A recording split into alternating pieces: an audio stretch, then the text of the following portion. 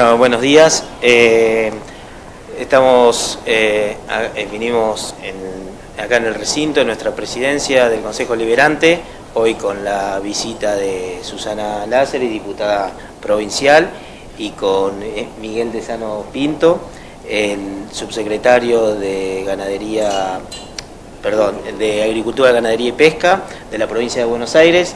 la verdad que estamos contentos con la presencia, hoy estuvimos eh, hoy, como todos saben, a la noche hay una reunión de la Asociación de Porcinos de la provincia y en APAS y bueno, tuvimos una reunión previa con algunos productores por una iniciativa de ellos, así que como siempre la provincia respondiendo y estando cerca de la gente, así que gracias por venir y le damos la palabra.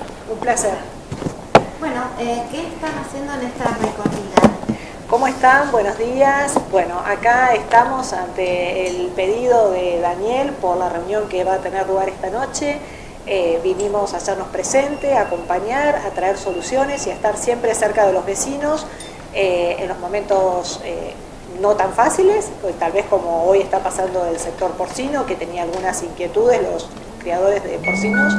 Y también hicimos rápidamente este, un llamado al Ministerio de Agroindustria de la provincia y el secretario, el, secretario, el subsecretario, perdón, provincial de Agricultura, Ganadería y Pesca, Miguel, eh, nos acompañó, así que este, estamos muy contentos de poder haber dado una respuesta al sector eh, de criadores de porcinos y si quieren, Miguel les cuento un poquito más este, en profundidad los detalles técnicos de lo que estamos.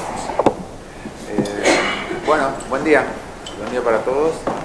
La verdad que muy, muy conforme con, sobre todo con las cosas que nos contaron los productores, que son lo que es lo que realmente importa, eh, muchas de las cuales están sumergidos en una coyuntura difícil cuando los precios relativos cambian así bruscamente. Eso es algo que casi no tiene solución en el corto plazo porque eh, la bueno, porque la economía nacional eh, va también a tener consecuencias sobre la economía real en casi todas las producciones pero más que nada en los tambos y en producción de cerdos, donde se desenganchan mucho los precios dolarizados, que son básicamente los alimentos, con los precios de venta, que son básicamente también alimentos, pero más ligados al consumo interno, como por ejemplo la leche y las carnes de cerdos. Así que estuvimos haciendo una apuesta en común de esos temas, una apuesta en común de la influencia o no de las importaciones, de la influencia o no de las, de, de las cuestiones sanitarias de otros países que tienen también eh, idea de venir a la Argentina como Estados Unidos.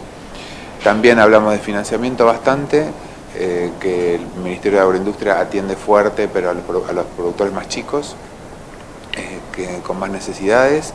Y bueno, un intercambio de ideas de cara a lo que viene, que esperemos que sea un despeje de la incertidumbre para que la producción de cerdo tan querida por nosotros encuentre un equilibrio entre sus precios y sus costos.